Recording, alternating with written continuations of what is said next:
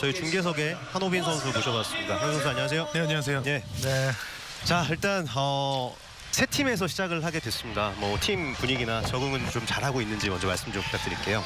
네, 뭐 하루하루 정말 새롭게 잘 적응해가지고 또 저희 팀 선수들이 워낙 좋기 때문에 뭐 저만 뭐 제 역할 해준다면 네, 좋은 성적 거둘 수 있을 거라고 생각합니다. 네.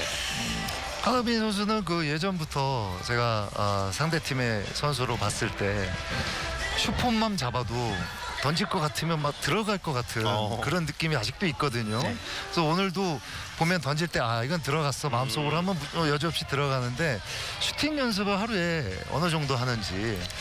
어, 솔직하게 슈팅 연습을 많이 하는 편은 아니고요. 어, 다른 선수들에 비해서는 많이 하는 편은 아니고 예.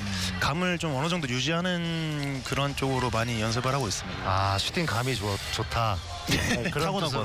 그렇죠. 사실 뭐, 네. 뭐 슈팅 감이 없는데 뭐 천 개, 이천 개 던지는 것보다는 네. 어, 한호빈 선수처럼 어, 감만 살린다면 한 두어 개 던졌는데 아 감이 됐어 그럼 그만해도 상관은 없거든요. 그렇군요. 예. 예. 뭐 전문 또 슈터셨으니까. 네. 아 저보다 슛이 좋은 것 예, 같습니다. 그런가요?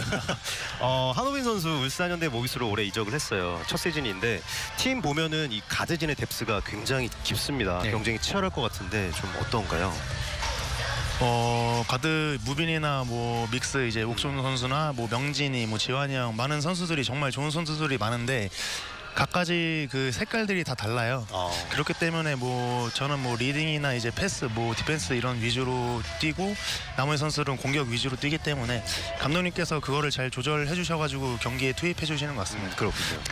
제가 조동현 감독하고 얘기를 나눌 때는 그 한호빈 선수한테 에, 리딩을 위기 때 그 숨 돌릴 수 있는 그런 네네. 활약이나 팀 조율, 리딩을 좀 많이 바라는 것 같더라고요. 안정감. 네. 어, 그런 거에 좀 자신이 있는지.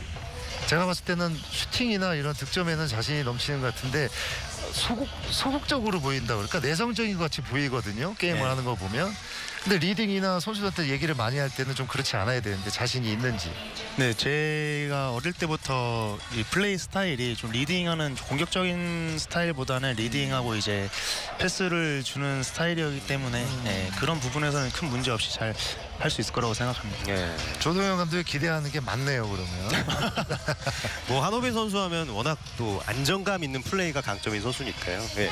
이제 마지막으로 어, 본 시즌이 얼마 안 남았습니다. 네. 어, 기대하고 계시는 팬분들이 많을 텐데 카메라 보시면서 이제 팬 여러분께 한 말씀 부탁드리겠습니다. 어, 올 시즌 정말 저희 선수들이 어, 비시즌 정말 열심히 준비 잘했고 또 컵대회도 이렇게 예선전에 2연승으로 기분 좋게 출발했기 때문에 어, 개막전부터 좀 준비를 잘 한다면 정말 좋은 결과 있을 거라고 생각하기 때문에 좀 많이 와주셔서 응원해 주셨으면 감사하겠습니다. 네. 한호빈 선수 오늘도 어, 멋진 활약 아, 감사하고요. 어, 시즌 내내 부상 없이 좋은 활약 기대하겠습니다. 네, 감사합니다. 예, 마지막으로 머리카락 좀 떼드리겠습니다. 예, 묻어가지고. 네. 네, 오늘 감사합니다. 네.